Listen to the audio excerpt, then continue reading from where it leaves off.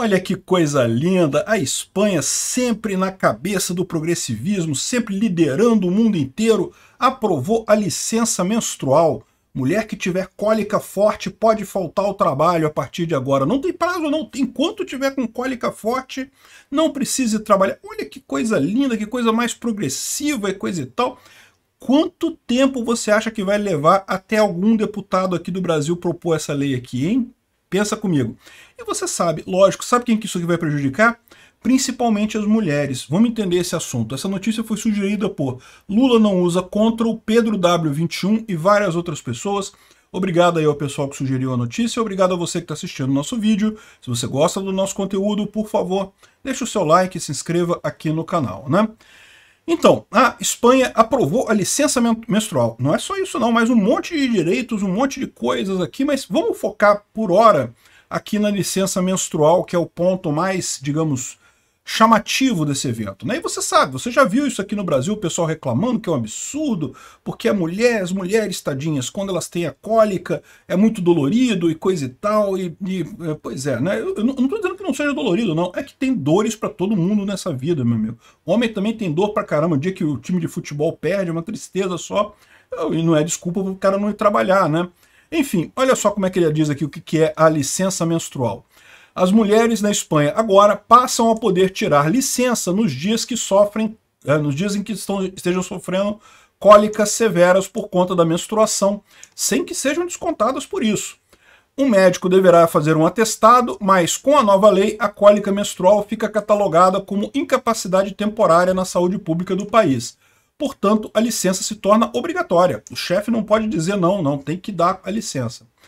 A proposta inicial falava em até três dias a cada ciclo menstrual, mas os deputados aprovaram uma nova versão que não estipula máximo de tempo. O tempo que precisar você fica em casa, né? E, uh, e aí eles terminam com aquela chave de ouro linda que dá a entender que não vai ter prejuízo para as empresas, que não vai aumentar o custo para as empresas. Será o governo e não a empresa quem pagará pelo direito, como se isso resolvesse o problema. Eles falam isso também aqui no Brasil, de que o, a, o INSS é quem paga o, o, empregador, o empregado que tem que fica muito tempo. Ah, tem a licença maternidade, mas quem paga é o governo, não é a empresa. A empresa não precisa se preocupar. É muito engraçado como esse pessoal acha que o trabalho da pessoa não importa, né? Porque a verdade é essa. Ok, o governo está pagando, mas adivinha, não tem ninguém fazendo o trabalho da mulher lá na frente que precisa ser feito, né? Essa mulher, ela era empregada na empresa porque precisava-se de alguém para fazer aquele trabalho. Esse pessoal pensa muito em empresas com 5 mil empregados.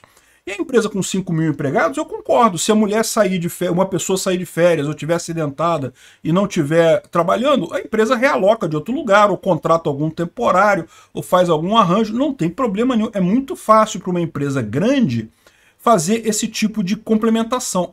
O porém é que a maior parte dos empregos lá na Espanha e aqui no Brasil também são pequenos negócios. É o botequim da esquina que tem uma mulher lá que, que lava o talher ali, que lava os pratos, que serve o pessoal.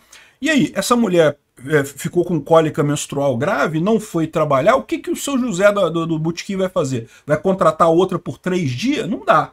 Aí, ou seja, vai ficar sem o um negócio, vai ficar sem a mulher. O que, que vai acontecer nesses casos?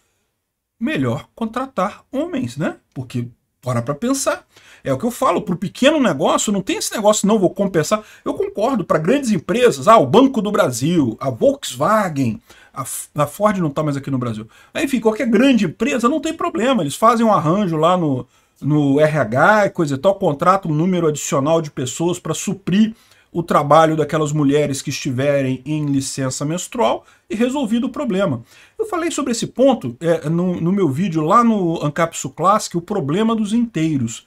Esse tipo de política, sim, é, é, para empresas grandes não tem problema nenhum, mas machuca muito mais as empresas pequenas. Toda lei, toda regulamentação que o governo faz, não importa o que diga a regulamentação todas elas prejudicam os pequenos e ajudam os grandes, sempre por causa da lei dos inteiros.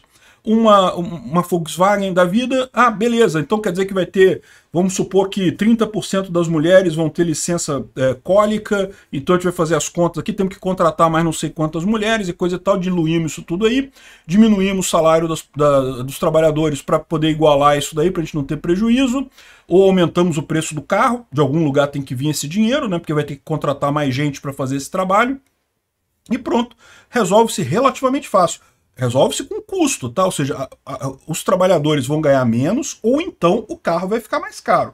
O fato é, essa lei aqui coloca um custo nas empresas, porque a mulher não está trabalhando, ok, ah, a empresa, a mulher não está trabalhando, o, o, governo, a empresa não está pagando também ela. Mas o trabalho dela fazia falta, né? Se, se o trabalho dela não faz falta, então a empresa não precisa dela ali. Então, como o trabalho dela faz falta, então a empresa vai ter que contratar outra pessoa para colocar ali.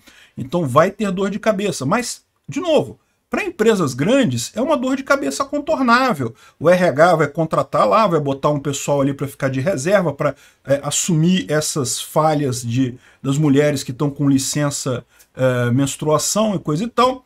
Mas e as empresas pequenas? E os empregadores de uma pessoa, duas, dois empregados, como é que vai fazer nesses casos? Sabe o que esse pessoal vai fazer? Eu vou te dizer o que esse pessoal vai fazer. Vai preferir contratar homem, porque homem não tem problema de, uh, de, de, licença menstrual. E aí depois é, é, vem esse próprio pessoal falando, ah, mas eu não sei por que, que o homem ganha mais do que a mulher e coisa e tal. Por quê? Porque tem um monte de lugar que aceita contratar homem e não aceita contratar mulher. É lógico, eles jamais vão dizer isso, porque não pode, né? Se falar isso, vão ser acusados de machismo e coisa e tal. Mas toda mulher que for chegar lá, eles vão olhar para o currículo dela, ah, muito legal, mas a, a vaga já foi preenchida. Por que isso? Porque justamente esse monte de lei que dá um monte de direito para a mulher prejudica a mulher, torna o custo da mulher para o empregador muito mais caro, principalmente em empresas pequenas e médias. Né? De novo, grandes empresas, aumenta o custo? Aumenta, mas não é essa coisa toda, não é um, um, um drama grande. Para pequenas empresas é uma tragédia completa. A pessoa passa a ter que uh, ou, ou contratar só homens ou fazer alguma outra coisa. Né? Já é assim. Hoje você já tem esse tipo de lei, né? por, por conta de licença maternidade, que é um tempo grande, que, de novo, aqui no Brasil também é assim, o governo que paga, não é a empresa que paga a licença maternidade. Tá, mas e o trabalho da pessoa? O trabalho da pessoa era precisa ser feito. Alguém tem que estar tá ali para fazer o trabalho daquela pessoa. Ela estava empregada porque a empresa precisa do trabalho dela, né? Enfim, um absurdo completo esse negócio de licença menstrual. Não estou dizendo que não seja um, drama para as mulheres esse tipo de coisa. É verdade, é muito ruim, eu reconheço, né? É, tem uma série de dores que são problemáticas nesse caso. Agora, esse tipo de lei aqui vai causar é mais problemas, não menos problemas. Obrigado por assistir o vídeo até o final.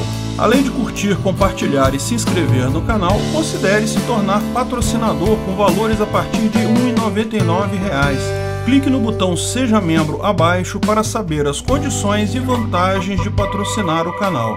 Mais informações sobre o nosso projeto, visite nossos sites indicados na tela.